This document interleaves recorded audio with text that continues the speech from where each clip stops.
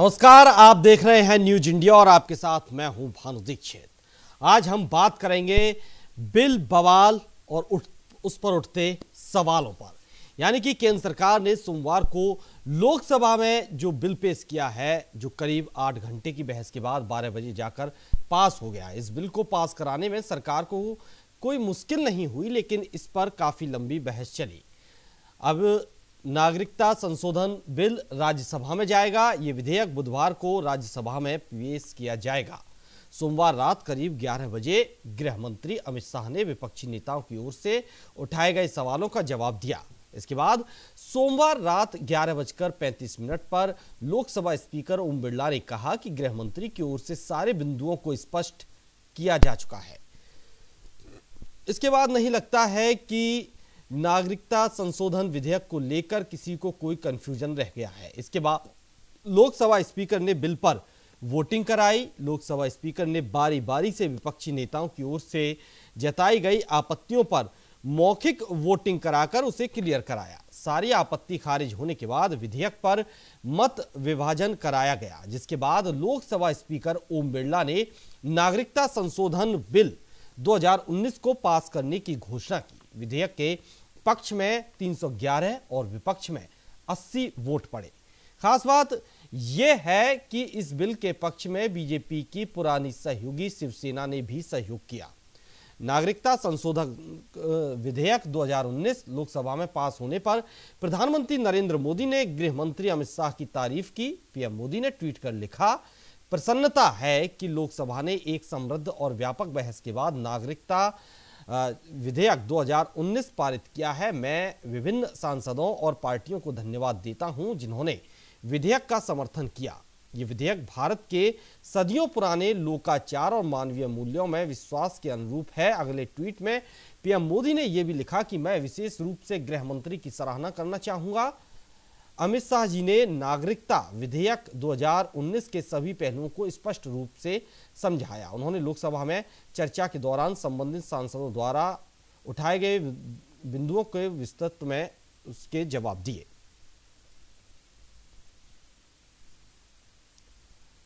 हालाँकि इस बिल पर एआईएमआईएम चीफ असुद्दीन ओवैसी ने विरोध प्रदर्शन किया और बिल की कॉपी को फाड़ दिया था। इस पर ज़्यादा जानकारी के लिए हमारे संवाददाता रमेश पुरोहित हमारे साथ जुड़े हुए हैं। रमेश, बिल, बवाल और कई सवाल उठ रहे हैं। नागरिकता संशोधन विधेयक 2019 को लेकर कई तमाम सवाल भी उठ रहे हैं। हालाँकि बिल पास हो गया है लोकसभा में, राज्यसभा में भी अब पास करवाना होगा, जो बुधवार को होगा। लेकिन सवाल यह है कि आखिर इस बिल पर इतना हंगामा क्यों हो रहा है? ऐसा आखिर क्या इसमें गलत है जिस पर आ, आ, हंगामा हो रहा है जिस पर सवाल उठने चाहिए? भानु बात ऐसी है कि यह जो बिल जो है कल पारित हुआ है लोकसभा में वह दरअसल बीजेपी के कोर एजेंडे में शामिल है यही चीज़। जी। जैसे राम मंदिर का मसला हो मामला हो या दूसरा जो, जो तीन तलाक वाला मामले हो। कुछ ऐसे विषय हैं जो बीजेपी के कोर एजेंडे में शामिल है, लेकिन यह जो बिल है, वो एक अलग तरह का बिल है। इसकी अगर इतिहास में जाएँगे तो इसकी जड़, जो जड़े है, वो आज़ादी के बाद से शुरू होती है। जब 1950 में जवाहरलाल नेहरू और जो है पाकिस्तान के जो प्राइम मिनिस्टर थे, उनके बीच में समझौता हुआ था 1950 में। तब से लगा करके अब तक मतलब आज तक नागरिकता के विषय को लेकर के कई बार जो है, संशोधन होते रहे हैं, लेकिन वो संशोधन परिपूर्ण नहीं कहलाए जा रहे। अब रही बात के बीजेपी लेके आई है इसको और ये जो मामला है तो उनके दिमाग और सब सबसे यह है कि पाकिस्तान, बांग्लादेश और अफ़गानिस्तान, इन तीन देशों में जो रहने वाले जो लोग हैं, गैर मुस्लिम, जिसमें कि ये छह कैटेगराइज की गई है, उसमें हिंदू, सिख, ईसाई, जैन, बौद्ध और पारसी। ये जो लोग हैं, वहाँ पर जो है प्रताड़ित हो रहे हैं और उनके साथ में जो दुर्व्यवहार किया जा रहा है और वो कभी कभार सहने सहने कुछ कुछ हिस्सों में जो है हिंदुस्तान में आकर रहते भी है वो। यहाँ यहाँ रह रहे हैं वो लोग। तो वो लोग अब ना तो भारत के नागरिक है ना वहाँ के। तो वहाँ उन लोगों के साथ में जो दुर्भावनापूर्ण जो है प्रताड़ना झेली है वो लोग यहाँ पर हिंदुस्तान में रहे हैं। अब उनके साथ में मुश्किल ये है कि वो हिंदुस्तान के नागरिक नहीं और कई साल हो गए उनको रहते हुए। तब बीजेपी ने लगातार उस जो है ऐसे मसलों को उठाती रही है। कोर एजेंडा में भी रहा है। अब जाकर के जब कि पिछली बार भी पूर्ण बहुमत की सरकार थी और इस बार भी पूर्ण बहुमत की सरकार है तो वह अपने इस मामले को लेकर के बहुत गंभीर और संजीदा थी और यह विषय लेकर आई लोकसभा में और उसको पारित किया। खास बात यह है कि इन तीन देशों के लोगों को जो है टारगेट करके किया गया है और दूसरा ये कि इसका जो है बांग्लादेश का जो आसाम वाला इलाका है और पश्चिमी बंगाल वाला इलाका है वहाँ पर भी इस तरह की जो है समस्याओं से लोग जो है त्रस्त है। लिहाजा एक सार्वभौमिक के कौन से लोग बिल्कुल बिल्कुल किस तरह के रमेश पुरोहित आपको रोकेंगे। हमारे साथ शादाब शम्स जी भी जुड़ गए हैं प्रदेश प्रवक्ता बीजेपी के। शादाब शम्स जी बहुत बहुत स्वागत आपका न्यूज़ इंडिया पर। बहुत बहुत धन्यवाद।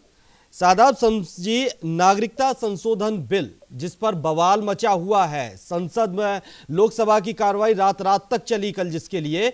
अब सवाल ये उठ रहा है कि इस बिल पर हंगामा भी बहुत हो रहा है। आखिर इस बिल की ज़रूरत क्यों आन पड़ी? देखिए मुझे लगता है नागरिक संशोधन विधेयक जो आया है इस बहुत लंबे अरसे से आवश्यकता थी। लोकसभा में इस पे मोहर लग चुकी है और हमें पूर्ण विश्वास है। कि राज्यसभा में भी इस बिल को पूर्ण सहमति मिल जाएगी आज जब देश में एक तरफ़ अल्पसंख्यकों को यातनाएँ दी जा रही हैं वो उन्हें धार्मिक परेशानियों से गुजरना पड़ रहा है और उस संघर्ष में वो हिंदुस्तान की ओर रुख करते हैं तो मुझे हम्म। लगता है कि एक अधिकार बनता है उनका कि जो हमारा जो देश था वो किसी हालात में बट गया बांट दिया गया वो अलग एक विषय है लेकिन जो लोग उस पूरे हिंदुस्तान की आज़ादी के लिए लड़े उसमें वो लोग भी थे आज जिन्हें धार्मिक आज़ादी पाकिस्तान में बांग्लादेश में नहीं मिल पाई। हम्म। और वो लोग उससे परेशान होकर अपने जीवन को किस तरह से झेल रहे थे वो लोग जान सकते हैं। और लंबे वक्त से एक ईमानदार कोशिश की तैयारी चल रही थी। भारतीय जनता पार्टी माननीय मोदी जी को माननीय अमित शाह जी को हम सब लोग बधाई देते हैं कि उन्होंने एक बहुत जिम्मेदार डिसीज़न लिया। और मुझे लगता है कि पूरे देश के अंदर एक पॉजिटिव माहौल इससे बना है। आप बताइए तो इसमें विरोधी भी तो है। ओवैसी ने बिल की कॉपी फाड़ दी। देखिए ओवैसी जैसे लोग शायद देश को बांटने का काम कर रहे हैं। ये लोग अगर वो कहते हैं कि ये बिल बांट देगा देश को। भाई, आप बताइए ना उस, उन्होंने तब नहीं बोला, उस कांग्रेस पार्टी के बारे में नहीं बोला, उस मुस्लिम लीग के बारे में नहीं बोला जिसने देश को बांट दिया, जिसने पूरे हिंदुस्तान के दो टुकड़े कर दिए, और उस, उसके बारे में वो भूल जाते हैं। लेकिन उन्हें आज जब देश को जोड़ने की बात होती है, जो सनातन विचारधारा को जोड़ने की बात होती है, जहाँ बात होती है कि जिस सिंधु घाटी की सभ्यता की हम बात करते हैं उस सिंधु घाटी की सभ्यता में पाकिस्तान भी आता है बांग्लादेश भी आता है और वहाँ पर रह रहे जो गैर मुस्लिम है उनके साथ अत्याचार होता है मैं भी एक हम्म। मुसलमान हूँ हिंदुस्तान का मज़बूत मुसलमान हूँ लेकिन मैं ये कह सकता हूँ इसमें कोई शक नहीं है कि पाकिस्तान के अंदर जिस तरह से हिंदुओं के ऊपर और अल्पसंख्यकों के ऊपर अत्याचार हुए उसका मुँह तोड़ जवाब अगर कोई दिया जा सकता था और इस बात को साबित किया जा सकता था कि पाकिस्तान के अंदर धार्मिक उत्पीड़न किया जाता है तो इससे बड़ा उदाहरण उसका नहीं हो सकता माननीय अमित शाह जी ने जिस मजबूती के साथ बात को राज्य लोकसभा में रखा मुझे लगता है पूरा देश गदगद है और जो ये सेकुलर विचारधारा की राजनीति करने वाले लोग हैं ये इन लोगों को आईना है जिन्होंने धर्म के नाम पे देश बांट दिया था। आज जब देश में धार्मिक आज़ादी जिन लोगों को नहीं मिल रही है और वो मदद की तो चलिए चलिए शादाब जी शादाब जी आप बांग्लादेश की बात कर रहे हैं कि बांग्लादेश में हिंदुओं को प्रताड़ना दी जा रही है। कितनी बार बीजेपी ने ये मुद्दा उठाया बांग्लादेश के साथ? बातचीत तो रोज़ाना होती है लेकिन मुद्दा कभी उठाया आपने कि आपके देश में हिंदुओं को प्रताड़ित किया जा रहा है? ये तो पिछले सत्तर साल से हम पाकिस्तान के सामने और बांग्लादेश के सामने यही बातें तो उठाते आ रहे थे लेकिन तो फिर बांग्लादेश को मदद क्यों दे रहे हैं। क्यों बांग्लादेश के साथ बातचीत बंद नहीं कर रहे क्यों बांग्लादेश से मदद बंद नहीं कर रहे बांग्लादेश को? बात पूरी सुनेंगे आप तो मैं शायद अपनी बात को समझा पाऊँ जी जी। मैंने कहा सत्तर साल तक यही तो चलता रहा। पाकिस्तान हम यूएनओ में पाकिस्तान के खिलाफ जाते थे हम हम्म। कहते थे वहाँ देखो ऐसा हो रहा है पाकिस्तान हमारे यहाँ टेररिस्ट भेज रहा है ये पहली बार हुआ जब मोदी सरकार आई कि अब हम नहीं जा रहे अब वो लोग भाग रहे हैं जो हमारा उत्पीड़न करते थे, जो टेररिस्ट भेजते थे, आज वो जा रहे हैं अपनी मदद मांगने के लिए यूएस ये डिफरेंस दिखता है हमारी सरकार में, मोदी सरकार में और पुरानी सरकारों में। पहले हम गुहार लगाते थे, आज वो गुहार लगाया, लगा रहे हैं। आज वो कल हमारे फौजियों के ऊपर जब चाहते थे फायर खोल देते थे, आज मेरा फौजी सरहद पे माकूल जवाब दे रहा है। और आज सीज फायर का उल्लंघन हो या एबीसीडी हो आज पाकिस्तान गुहार लगाता घूम रहा है। इस बात का सबूत है कि जो देश की कमान है वो मज़बूत हाथों में है और जो हमारे साथ जिस तरह का ये ये तो ये तो ये तो एक मुद्दा रहा ये आतंकवाद का मुद्दा रहा चलिए वो अलग मुद्दा है। लेकिन जिस तरह से सारे गैर मुस्लिम लोगों सारे को मुद्दे एक ही हैं ये अलग अलग नहीं है। आपको इस नज़रिए को बदलना पड़ेगा। ये लोग जो वहाँ बैठे हुए मेरे देश के खिलाफ धार्मिक जंग छेड़े हुए हैं जो देश के खिलाफ देश का माहौल खराब करने के लिए एक षड्यंत्र रचे हुए हैं। ये किसकी आड़ में कर रहे हैं? ये धर्म की राजनीति नहीं कर रहे चलिए ठीक है ठीक है रोकने जाऊँगा। अरुण त्रिपाठी भी हमारे साथ जुड़ गए हैं। कांग्रेस के प्रवक्ता हैं अरुण त्रिपाठी जी बहुत बहुत स्वागत है आपका न्यूज़ इंडिया पर। धन्यवाद जी। जी अरुण त्रिपाठी जी नागरिकता संशोधन बिल को लेकर कांग्रेस पक्ष में नहीं है दिक्कत क्या आ रही है कांग्रेस को? देखिए कांग्रेस को दिक्कत यह है कि जब देश में आप उन्माद फैलाने की कोशिश करेंगे और एक धर्म विशेष को उससे अलग रख करके बात करेंगे तो आप होगा कि पटेल साहब की स्टैचू मोदी जी ने यूनिटी के नाम पर लगाई। स्टैचू तो यूनिटी का मतलब होता है कि सबको साथ लेकर के चलना। और पटेल साहब कभी इसके पक्ष में नहीं थे। पटेल साहब कहते थे कि ये देश सबका है सभी धर्मों का है। और मेरा प्रश्न धर्म को बाहर रख करके आप नागरिकता बिल लेकर के आते हैं और रात में अ, उसको पारित करवाते हैं लोकसभा से तो कहीं ना कहीं ये हम लोग जो जमुना हिंदू मुस्लिम किस धर्म विशेष की बात कर रहे हैं, अरुण त्रिपाठी जी? हम उसकी बात कर रहे हैं हम ये चाहते हैं कि उनको भी रखा जाए। और किस धर्म विशेष की बात कर रहे हैं आप? नहीं नहीं देखिए मुस्लिम समाज को उससे बाहर रखा गया है। तो अगर पाकिस्तान में मुस्लिम समाज के साथ कोई दिक्कत होती है तो वो अपना देश छोड़कर हिंदुस्तान में आ जाएँ। अगर बांग्लादेश में कोई दिक्कत होती है तो वो अपना देश छोड़कर हिंदुस्तान में शरण ले लें। अगर अपना अफ़गानिस्तान जैसे मुस्लिम देश में अगर मुस्लिमों के साथ जाति होती है तो वो, वो अपना देश छोड़कर हिंदुस्तान में शरण ले लें। नहीं नहीं देखिए आप एक चीज़ बताइए मुझे। पार्टीशन के बाद अगर इस देश से मुसलमान पाकिस्तान गए हैं तो कुछ मुसलमान रुके भी हैं भारत में। और भारत में रुके अगर हिंदुस्तान में जो मुसलमान हैं क्या उन्हें उनके अधिकारों से वंचित रखा जा रहा है? आप जी- देखिए वही तो हम बात करते हैं कि उनको अपने अधिकारों से वंचित क्यों रखा जा रहा है? हम्म। देखिए त्रिपाठी जी के पास सरकार नहीं है। जी। हेलो?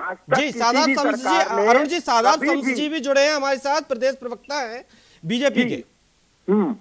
देखिए मेरा त्रिपाठी जी से एक प्रश्न है। आप मुझे बताइए, हिंदुस्तान के अंदर, हम ये कहते हैं अगर पाकिस्तान के अंदर किसी हिंदू को उसकी इबादत करने से रोका जा रहा है, कि बांग्लादेश के अंदर किसी को उसकी धार्मिक स्वतंत्रता नहीं मिल रही है, अब वो बेचारा कहाँ जाएगा? वो हिंदुस्तान की तरफ़ रुख करता है, कहता है, यार, जो जहाँ से हिंदू, पाकिस्तान और बांग्लादेश बने वो इनका बड़ा भाई, वो जो वहाँ के मुसलमानों को पूरी ईमानदारी से जमहूरियत का अपनी धर्म को फॉलो करने का अधिकार है मैं एक मुसलमान हूँ और मैं बड़ी ज़िम्मेदारी से कहता हूँ कि ना भारतीय जनता पार्टी, ना मेरा देश किसी को यहाँ उसकी इबादत करने से रोकता है। लेकिन एक बात आपको समझनी पड़ेगी इस देश के अंदर कि क्या ये कह सकते हैं त्रिपाठी जी की ईमानदारी से पाकिस्तान के अंदर उन्हें स्वतंत्रता है? ये कह सकते हैं कि बांग्लादेश के अंदर उन्हें अपनी धार्मिक स्वतंत्रता है और जिनके लिए हिंदुस्तान के मुसलमान से इसका कोई लेना देना नहीं है। लेकिन जो पाकिस्तान बांग्लादेश या म्यांमार का मुसलमान यहाँ आना चाहता है जिसे आतंकवाद का ठप्पा जिन लोगों के ऊपर लगा हुआ हम उसे कैसे अलाउ कर दें? हम कैसे अलाउ करते हैं देश के अंदर? अब इसके ऊपर ये कहते हैं हम राजनीति कर रहे हैं। चलिए पूछ लेते हैं जवाब भी ले लेते हैं अरुण त्रिपाठी जी। इसमें आप कहीं भी स्पष्ट ये नहीं कर रहे हैं कि ये बांग्लादेश पाकिस्तान मामला है। देश के किसी भी कोने से भी मुस्लिम आना चाहे, विश्व के कोने से तो भारत में उस पर प्रतिबंध आप लगाने की कोशिश कर रहे हैं।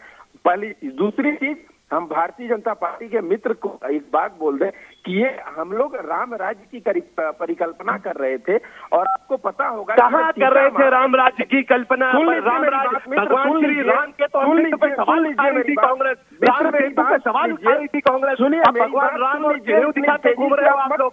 नहीं नहीं देखिए आपको क्या है कि आप गाल आप लोग बजाते हैं आप लोग इस देश को अभी तक समझ नहीं पाए हैं। देश को आप इस देश को समझिए आप लोगों से विनती है कि इस देश के। जमुना गंगा जमुनी तहजीब को तो समझिए इस देश के लोगों को समझिए इस देश में गरीब वंचित मजदूर असाई धर्म के लोग अल्पसंख्यक वर्ग बहुत सारे लोग हैं और यही इस देश का श्रृंगार है। इस श्रृंगार से खिलवाड़ मत करिए आप अरे सब श्रृंगार सुनिए। जब सीता जी का हरण हो गया था तो भगवान राम जब सीता जी को ढूँढने निकले थे तो उन्होंने कहा था एक। तब कहाँ गया था। तो भगवान राम ने तो खग और मृग से पूछ लिया था कि सीता जी कहाँ है आज आप जिस बिल का पारित कर रहे हैं उसमें मुसलमान साइड रख दिए क्यों रख दिए आप बताइए अरे एक बात बताइए ना आप बता दीजिए ठीक है। सीता जी कहाँ है ठीक जब ठीक जी है जी अरुण जी और? सादाब जी। सादाब जी और अरुण जी। किया जा रहा है? अरुण जी और सादाब जी सादाब जी आपसे मेरा एक क्वेश्चन है आज ह्यूमन राइट डे भी है। आप इस बिल को कम्युनल एंगल से देखते हैं या ह्यूमिटेरियन एंगल से?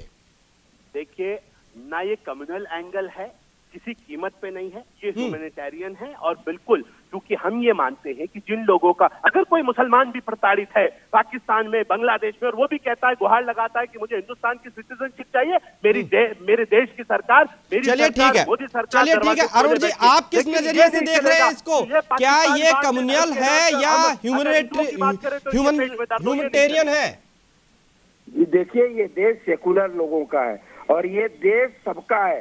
नहीं, आपको क्या लग रहा है? क्या ये बिल कम्युनल है या? इनपे बिल पारित होने पर सबका साथ नहीं है। अगर सबका साथ होता तो ये बिल नहीं पारित होता। जिस यानी कि कम्युनल आप इसे कम्युनल मान रहे हैं। जी हाँ। तो इसको कम्युनल बनाया किसने? सरकार ने या विपक्ष ने? पार्टी ने बनाया है। भारतीय जनता पार्टी के पास मुद्दे नहीं है। इस देश अरे देश बात किया। एक तरफ़ पूरे जी, देश में हाहाकार रेप- के ऊपर उत्पीड़न हो। रहा है इस देश में क्या- रोड पे सत्ता नहीं बची? चलने नहीं क्या? कर एक सकती और दूसरी तरफ़ ये देश इस देश को इस देश को इस देश को तत्कालीन सरकार।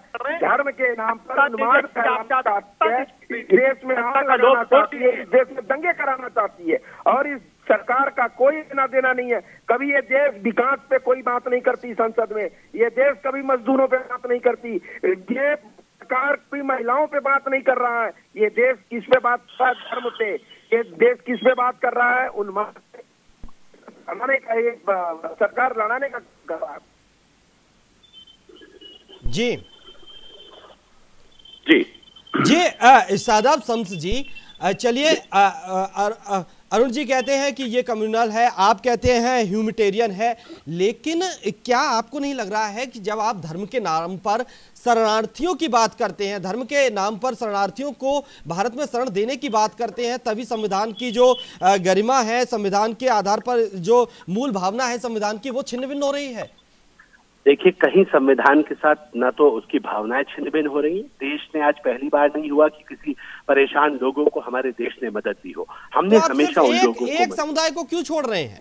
मैं बता रहा हूँ ना सर आपको क्योंकि हम्म। उसी समुदाय के नाम से मैं ये कह रहा हूँ मैं उसी समुदाय से आता हूँ लेकिन हम ये जानते हैं नहीं आप राजनीतिज्ञ हैं आप राजनीतिज्ञ हैं आप देश के नेता हैं आप देश के लिए बात करते हैं। आप किसी समुदाय से नहीं आते। मैं मैं आपको ये बता दूँ कि आज हम सब लोग जानते हैं हम कबूतर की तरह आँखें बंद कर लें और ये सोचें कि बिल्ली हमें नहीं देख रही है और बिल्ली अपना काम कर जाए तो हमसे बड़ा बेवकूफ़ कोई नहीं होगा। हम जानते हैं कि पाकिस्तान से हमारा हम we are in the state of war with Pakistan. और 90 फॉर सिंस 1947 और लगातार हमारा युद्ध चल रहा है। और उस युद्ध को बार बार पाकिस्तान कम्युनिज्म का चेहरा सामने रख के चाहे वो कश्मीर के नाम पे हो हमारे यहाँ चाहे वो सिख टेररिज्म के नाम पे आतंकवाद को फैलाने का काम हो पाकिस्तान ने किया। इसलिए हम ये मानते हैं कि देश की व्यवस्थाओं को खराब करने के लिए कुछ लोग हमारे खिलाफ षड्यंत्र रख सकते हैं। और जिस दिन हमारे हालात पाकिस्तान से बेहतर हो गए वहाँ भी दिक्कत आएगी तो हम देंगे उन्हें भी शरण कोई दिक्कत नहीं है। लेकिन आज नहीं। आज क्योंकि देश का वातावरण जिनके उत्साह उत्पीड़न हो रहा है क्या आप ये कहेंगे कि पाकिस्तान के अंदर मुसलमानों को नमाज़ पढ़ने नहीं दी जा रही? लेकिन ये तो कह सकते हैं ना ये तो मानेंगे कि पाकिस्तान के अंदर हिंदुओं को इबादत नहीं करने दी जा रही उनके हिसाब से। तो अगर इंसाफ की बात करनी है अगर सच्चाई की बात करनी है तो आप सच कहते हुए घबरा क्यों रहे हैं? चलिए अरुण त्रिपाठी जी क्या कहेंगे इस पर अरुण त्रिपाठी जी। मैंने तो सवाल पूछ लिया कि आप सिर्फ़ एक समुदाय को क्यों छोड़कर छोड़ रहे हैं? बाकियों को आने के लिए कह रहे हैं। जवाब मिला आपको? सही बात बताई है। मैं आपको इसमें थोड़ा ऐड कर दूँ कि इन्होंने कहा कि पाकिस्तान में हिंदू को इबादत करने से कोई रोक रहा हो सकता है लेकिन मुसलमान नमाज़ पढ़ने से नहीं रोका जाए और उनको पता होगा कि भारत में ऐसा हो चुका है। आपको पता होगा ये नोएडा के सेक्टर अंठावन पार्क में मुसलमानों को नमाज़ पढ़ने नहीं अरे क्यों आग लगाते हो? क्यों आग लगाते हो देश के अंदर? ये गंदी राज उत्तर प्रदेश में पहले मुसलमान नवाज़ कहीं भी मनाही हो आपकी गंदी मानसिकता बताता है आप पॉलिसी पे कांग्रेस हैं।